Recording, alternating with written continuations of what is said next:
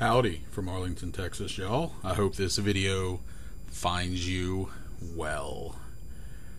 So, I don't know about everybody else, but when I uh, when I go to look at videos, you know, I've got all my subscriptions and I figure out which ones I want to put into my watch list. I obviously read the title now as much as any time because I'm pretty much skipping over anything that says Project 2020, even from folks whose channels I've found to pretty much be much wa- must watch YouTube.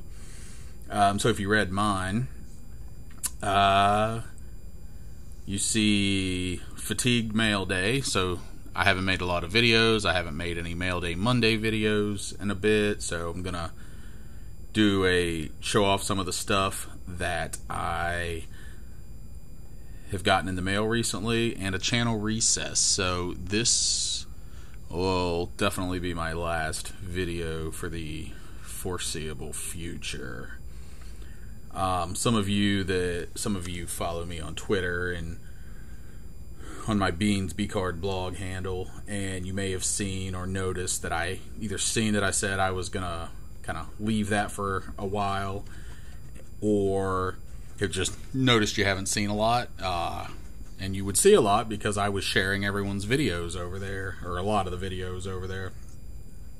But yeah, I've already made that, and I've moved to my personal account, and it's already helped uh, help make me feel a little bit better. So pretty happy with that decision. Uh, there's just a lot going on that I'm just, you know, just makes me unhappy. I'm not happy with, and you know, Project 2020 is one of them. I'm so tired of hearing about freaking Project 2020.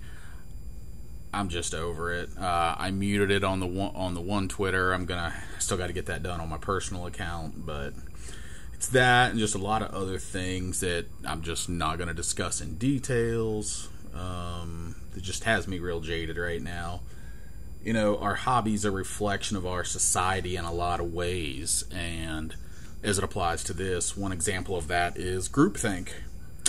And that's something that I don't fall in line with. I've never thought that. I, I think independently, you know, if we, you know, don't like to talk politics here, but, you know, typically somebody identifies with one side or the other and they pretty much just follow that line. I'm not that guy. I, I see the I see the positives and negatives on both sides.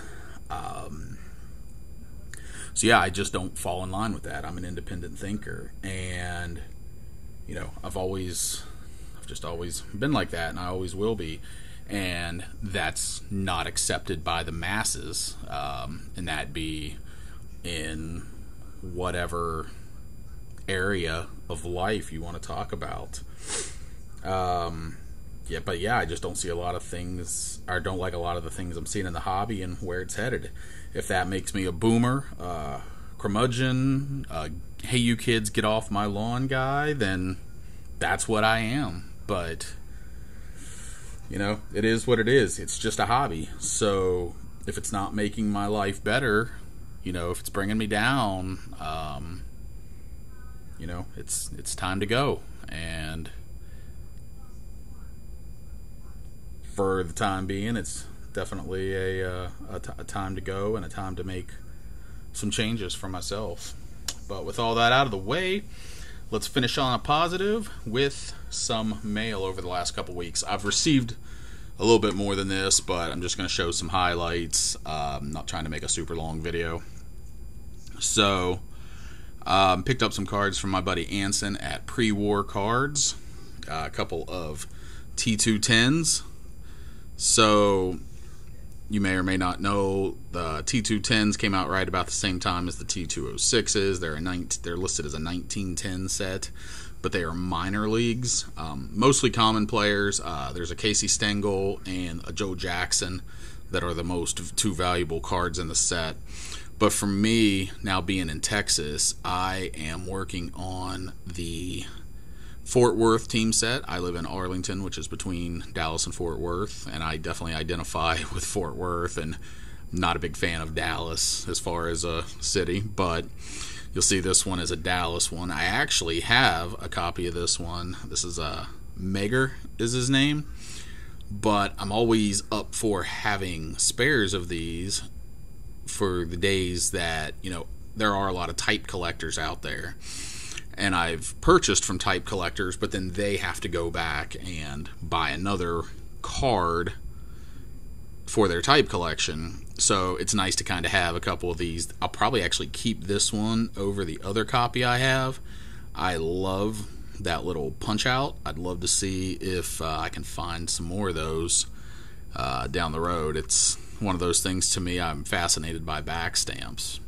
So this, uh, like I said, I, I, guess I'm passively working on Dallas just because I'm here right now. I'm working on Fort Worth and Galveston because Galveston is uh, my wife and I's uh, vacation happy place.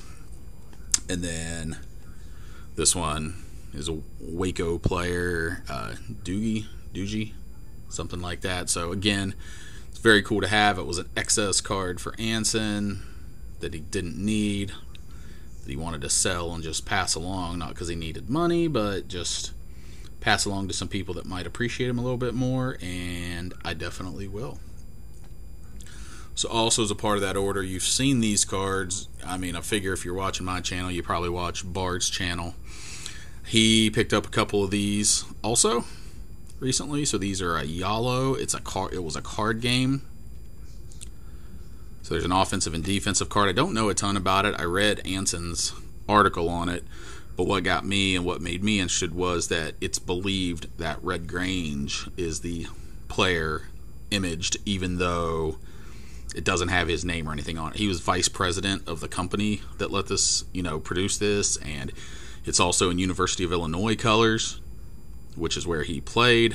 So, you know, I have a Red Grange uh, 1955 All American, and on my uh, list of cards I want to pick up in the not too distant future is a uh, I'd like to see if I can come into a Red Grange Sport Kings, but with prices going ridiculous right now, may have to put a little bit of a pause on that um, until hopefully it comes back down to earth a little bit. Then he threw this play ball in. I don't even know 100% what year it is. But what was super cool to me was that he was born in Birmingham, Alabama, which is where I was born. So pure happenstance. Uh, definitely a cool little card to have in my collection. Definitely the first play ball card that I have ever owned. So, tie this up real quick. Some loose ends. So I picked this up. Oops. How do we get this thing off here? Boom. So really just picked this up. It was a I thought it was cool because it's a phone card. It's graded for you know, I've slowly started picking up some Dale Earnhardt slab cards, great, both graded and authenticated.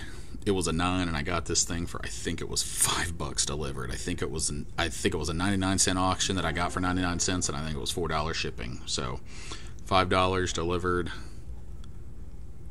to my to my door. I thought it was pretty cool, unscratched, all that, and like I said, and it's a nine, so cool little addition. So um, these two, I had seen a seller had these on eBay at 50% off. So I got both of these delivered. They're both 10s. Not that I care a ton about that, but I mean, I'll pay up slightly for a 10. Um, but it was like 25 delivered for both of these. The, it was really about this card here. Um, I love this set. I was collecting NASCAR cards in 96 and there's just something like it doesn't really show here but these have just uh, uh like a unique shine that I don't recall re- it's like a matte finish shine I guess is the best way I can describe it but always love these cards um, so when I was able to see a 10 and get it for 10 that was a uh, may as well so I got that, and then this one is an acetate. I'm not as in love with this because this is post career. This is from 2012. Um, I'm not really a big fan of the post career stuff, other than maybe some of the relics I would like to pick up. But serial numbered 499. It's a 10. I paid 10. Was well worth it. Um, again, not anything I'm going to go super crazy on. I think I've picked up a couple of other low end slab cards that I haven't shown off, but I couldn't remember if I had shown them or not, so I wasn't going to redo it. Last one I'm going to show you is number four. Even though he was number three, this is number four. This is the fourth autograph from Dale Earnhardt I've picked up. It is uncertified, but I've been looking at a lot of Dale Earnhardt autographs over the last six months. And I'm not cocky enough to think I know it all, but I feel good about this one.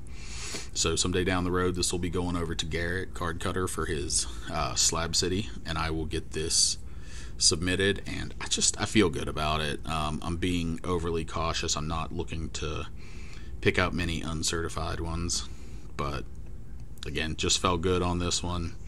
So that is the fourth one that I have added to my collection. I paid much less than 50 for it that's on the back. I honestly hadn't even noticed that because hell, I may not have even flipped the card over yet because obviously I was focused on the front.